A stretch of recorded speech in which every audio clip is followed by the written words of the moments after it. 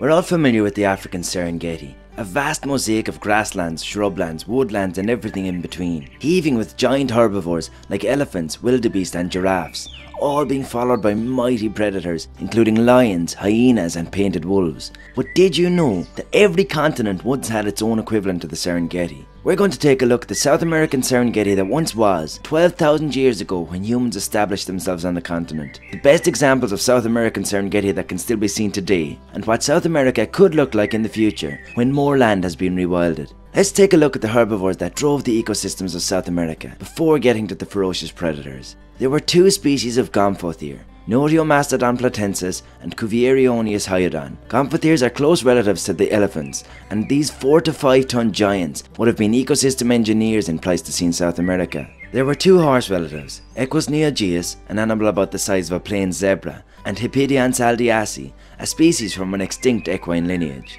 There were at least 10 different giant species in the armadillo family. They were absolutely massive, the biggest of them being the Glyptodons, which weighed over 2 tons, twice the weight of a Volkswagen Beetle. Alongside the guanaco and the vicuña, which are still alive today, lived a larger laminoid cousin, Palaeolama major, which weighed up to 300 kg or 660 pounds, more than twice the weight of the guanaco, the largest wild laminoid today. Two very unusual animals, from lineages completely wiped out today, were Xenorhinotherium bahiense and Toxodon platensis. Xenorhinotherium bahiense weighed almost one ton. It is believed it would have looked like a humpless camel, likely sporting a saiga antelope like proboscis. Toxodon platensis was even larger. It likely looked like a hornless rhino and weighed around 1400 kilos or 3100 pounds, similar in weight to Africa's black rhino. In South America today, there are 18 species of deer, from the tiny pudu to the largest native deer, the marsh deer. 12,000 years ago, there were two larger species though. Rhinolaphus brachyceras, which is most closely related to deer in the Cervus genus, like elk or wapiti, and red deer, according to recent studies. And the other was Antifer ultra. Both weighed up to 200 kg, about the weight of Eurasia's red deer. On to the biggest animal on the continent, there were at least 8 species of huge ground sloth in South America at the time, the smallest of them being about the size of modern day lions, and the largest, Megatherium, weighing up to 5 tons. For perspective, only the largest male Asian elephants get to weights over 5 tons today. Ground sloths weren't just large, Megatherium had claws almost a foot long and could have killed most predators with one swipe. The animals that live in South America today would have lived alongside these extinct giants, the largest remaining are the tapirs, of which there are three species. The largest, aptly named the South American tapir, weighs up to 320 kg or over 700 pounds. There were several species of capybara, today there are two remaining, as well as other large rodent cousins like the agouti and mara. Peccaries, a relative of pigs, are still keystone species today, and where they are common, move in herds numbering in their hundreds. The largest bird in South America 12,000 years ago remains the largest, the great rhea, which is an important species on the grasslands it inhabits. Now, what about the predators that hunted the large herbivores on the savannas of South America? The top predator was likely Smilodon populator. Some argued that it was the largest cat that ever lived, though most agree the American lion was larger. Alongside their giant saber-toothed cousin were the jaguar and the puma, the third and fourth largest cats alive today. And of course, some smaller but just as amazing cats like the ocelot and jaguarundi. Of course, where there are cats, there are usually dogs. South America had the direwolf, which was a little larger than any living canine and had a much larger head and a stronger bite force. Modern day South American canines, like the stocky little pack hunting bush dog and the tallest canine in the world, the maned wolf, would have steered well clear of the dire wolf. All the reptile megafauna that were alive in South America 10,000 BC are still alive today, such as the heaviest snake in the world, the green anaconda. There are six caiman species, the biggest of them, the black caiman, which weighs a whopping 500 kg or 1100 pounds. There are also two huge crocodile species in South America, the Orinoco and American crocodiles, the Orinoco gets the similar sizes as the black caiman, but the American crocodile can get absolutely gigantic, weighing over 1 ton or 2200 pounds. The largest mammalian predator on the continent though was a bear. There were two species of Arctotherium, which means bear beast. The bigger of them, Arctotherium tarijense, weighed up to 400 kg or 880 pounds, which would make it the third largest bear species if were alive today. Its smaller cousin, Arctotherium wingei, weighed up to 150 kg or 330 pounds, similar in size to the only bear that's still in South America today, the spectacled bear. Now that we've seen the amazing animals of the South American Serengeti that was, let's take a look at the best Serengeti style landscapes still found on the continent. The Cerrado and the Pantanal, two incredible landscapes that are connected to one another. The Cerrado is a vast savanna of grasslands, shrublands and forests. It is the most biodiverse savanna in the world and it's absolutely massive, roughly three times the size of Texas or France. The Pantanal is the largest tropical wetland in the world. It too is massive, larger than England for reference. I suppose it is more the South American equivalent to the Okavango Delta. Across these amazing landscapes, there are at least five deer species, including marsh deer and pampas deer, tapirs, two species of peccary, the largest rodent in the world, the capybara, which is about twice the weight of a golden retriever, and many other large rodents like agoutis and pacas. There are two large grazing tortoise species, the yellow-footed and red-footed tortoises. The great harilla is common across these habitats, and of course, countless monkey species, including golden lion tamarins and black and gold howler monkeys. There are even many feral horses, known as Pantaneiro, these horses provide benefits like grazing, seed dispersal, and of course food for predators and scavengers. And it can be said they're filling the niche of their extinct relatives that once thundered across the grasslands of South America. Then of course, you have the South American weirdos, sloths, armadillos and anteaters found in these two habitats, including the giant anteater and giant armadillo. But what about the predators? There are several cat species, including ocelots, jaguarundis, and the top predators, pumas and jaguars. There are hoary foxes, maned wolves, and bush dogs, which, despite being only the size of Jack Russell Terriers, can take down tapirs, the largest animal on the continent. There are ferocious mustelids, like the tayra, whose closest relative is the wolverine, and grisons, which are a bit like a smaller honey badger. And taking a drink in the rivers and marshes is definitely not safe. There are multiple caiman species. In 1996, a survey revealed there were more than 10 million caimans in the Pantanal alone. Yellow anacondas are abundant in the Pantanal, and even green anacondas can be found in some parts of the Cerrado. Then you have the giant river otters, and even jaguars don't mess with them. But not to be forgotten, South America is the land of birds. There are dozens of parrot species, including the hyacinth macaw, the longest parrot in the world, and second only in weight to the flightless kakapo of New Zealand.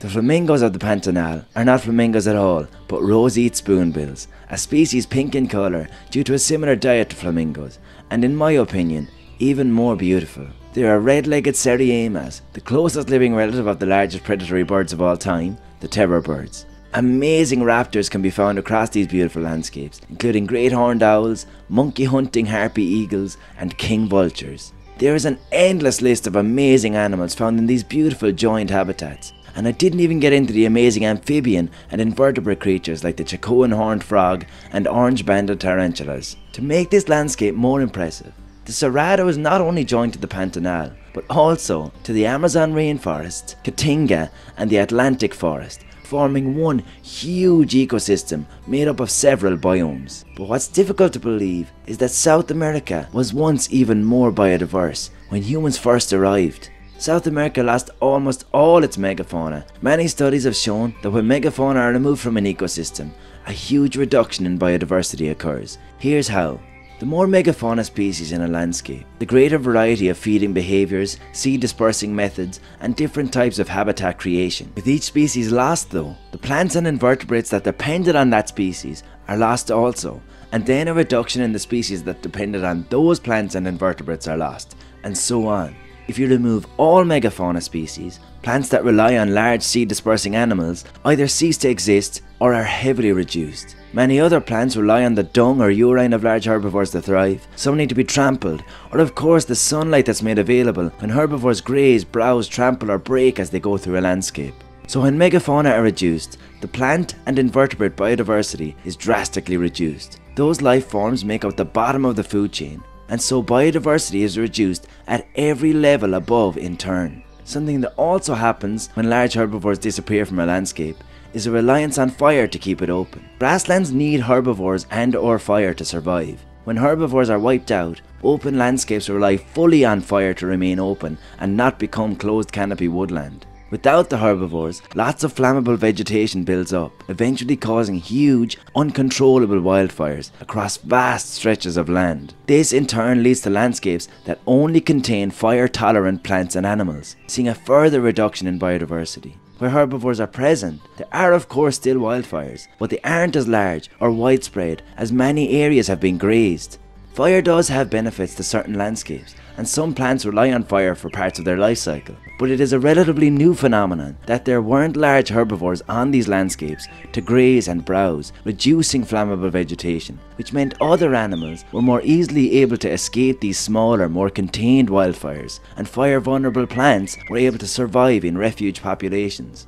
So now that we know just a little bit of how incredibly important megafauna are, what caused their extinction in the first place? There is some debate. The argument is often between the overchill and overkill hypotheses. Overchill being a climate related extinction event or events, and overkill being overhunting and outcompeting by humans. There is a huge flaw in the overchill hypothesis though. The extinctions occurred at different times on each continent, and those extinctions directly correlate with the arrival of humans. Humans arrived in Australia around 50,000 years ago. Australia lost every species weighing more than 220 pounds, of which there were dozens, between 50,000 and 40,000 years ago.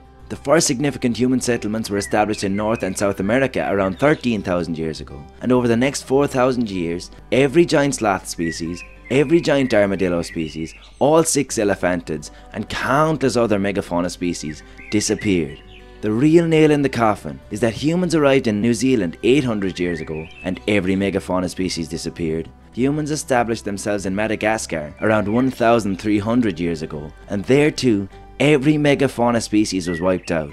We know that in New Zealand and Madagascar that it was humans that caused the complete eradication of all megafauna, showing that when humans arrive to a new land, extinctions of megafauna occur.